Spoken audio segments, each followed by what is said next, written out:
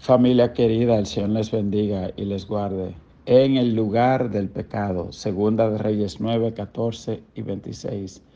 El devocional de hoy nos muestra una serie de extrañas coincidencias que hicieron que la muerte de Acab y su descendencia ocurran tal y como lo había profetizado el profeta Elías. Y no solo eso, sino en el lugar específico donde se cometió el pecado.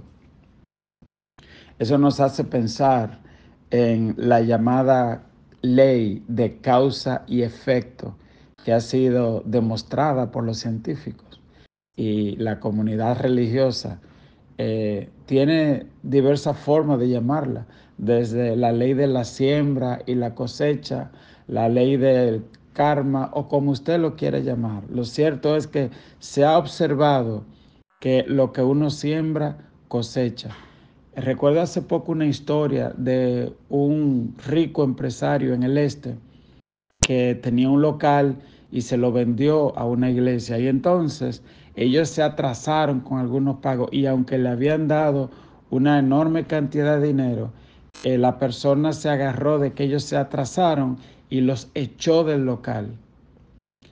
Pocos días después, ese señor tuvo un aparatoso accidente en una lujosa jipeta junto a su esposa.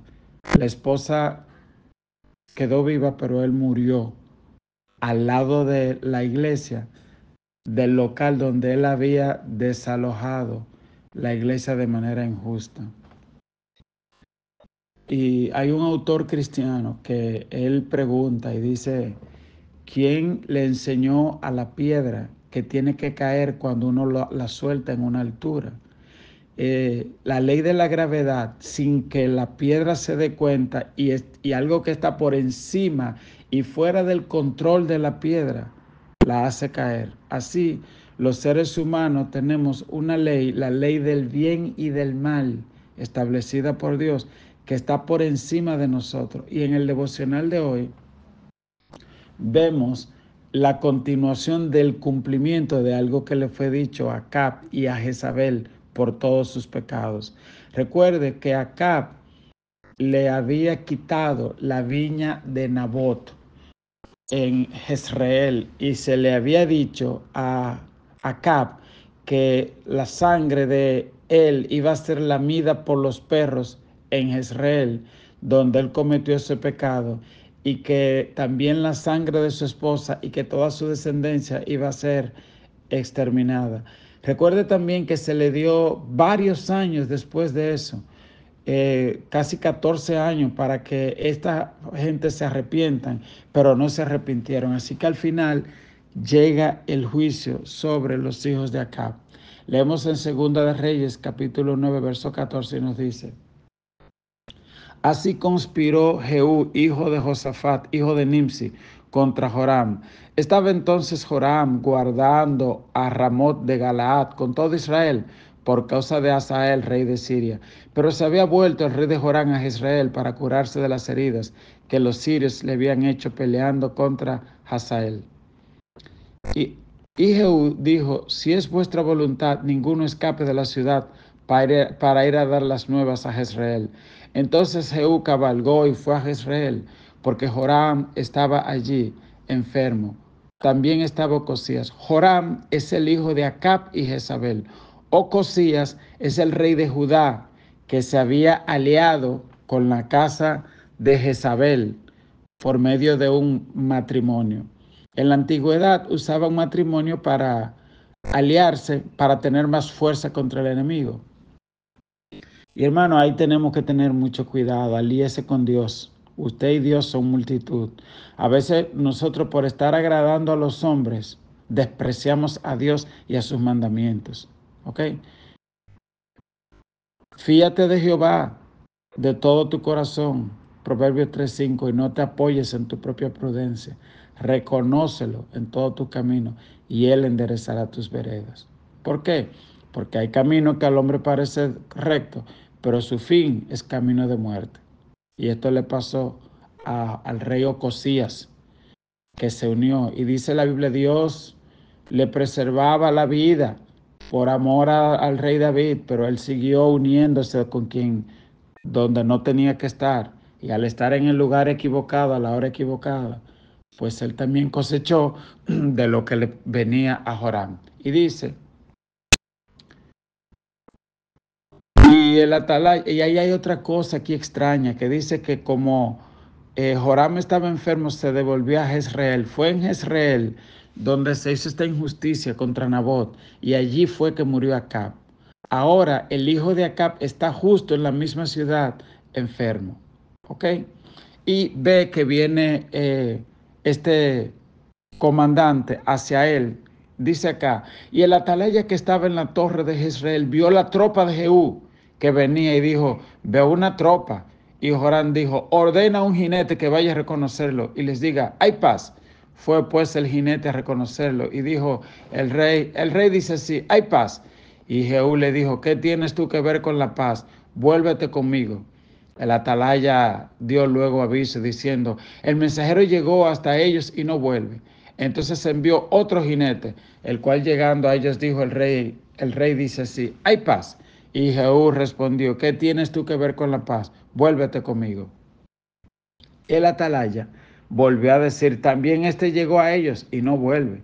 Y el marchar del que viene es como el marchar de Jehú, hijo de Nimsi, porque viene impetuosamente. Entonces Joram dijo, unce el carro. Y cuando estaba uncido su carro, salieron Joram, rey de Israel, y Ocosías, rey de Judá, cada uno en su carro, y salieron a encontrar a Jehú, al cual hallaron en la heredad de Nabot de Jezreel otra extraña coincidencia de esas de las que hace Dios. Dice la Biblia que salieron, están en una ciudad en Jezreel, generalmente ciudades amuralladas, y ellos salen a encontrarse con Jehú porque creen que él tal vez viene a dar buena nueva de la batalla.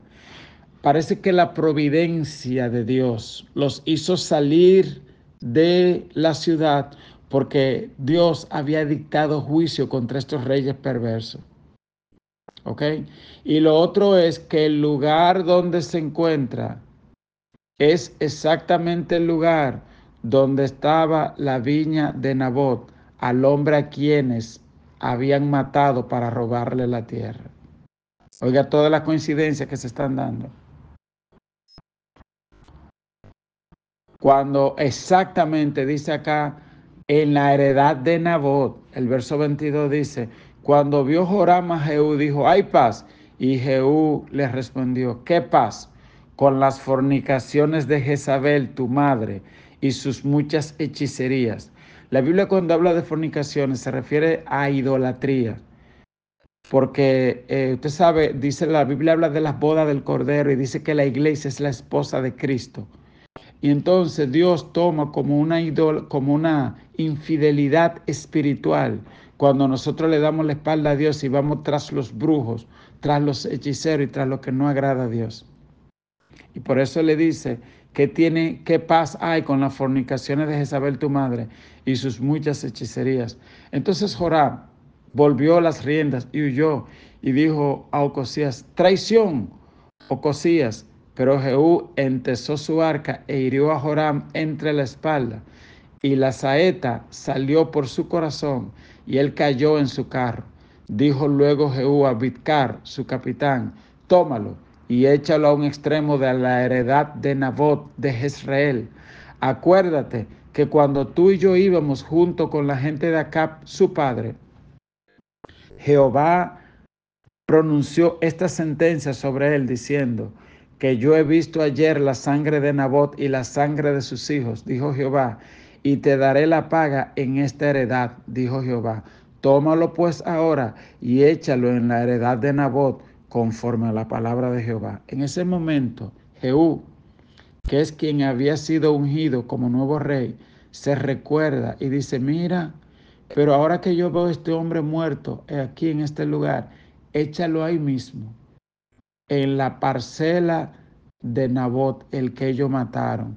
Porque acuérdate, le dice él a su capitán, que tú y yo escuchamos el día que el profeta le dijo a Cap que en este lugar su descendencia iba a caer.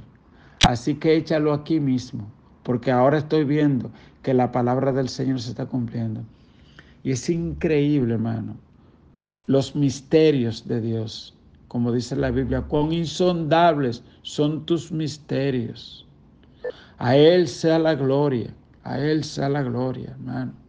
Porque mucho más allá de lo que nosotros podamos pensar o imaginar, las injusticias nos alcanzan, como también la misericordia, la gracia y el perdón para aquellos que se arrepienten y buscan y hacen pacto con Él. Dios no anda buscando corazones santos ni buenos. Él nos ama y porque nos ama nos santifica. ¿Ok?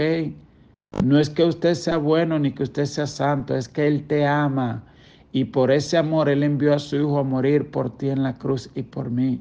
Y por eso Él nos hace santos, porque nos ama y nos da vida eterna.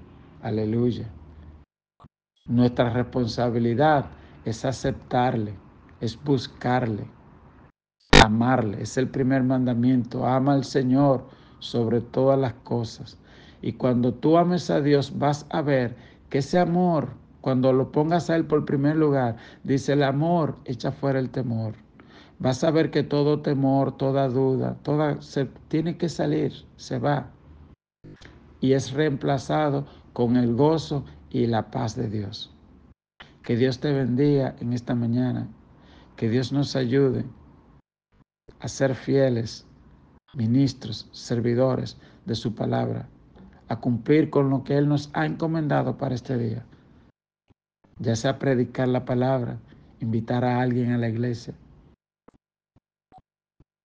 orar por alguien, servir a alguien. Dios te bendiga, Dios te guarde.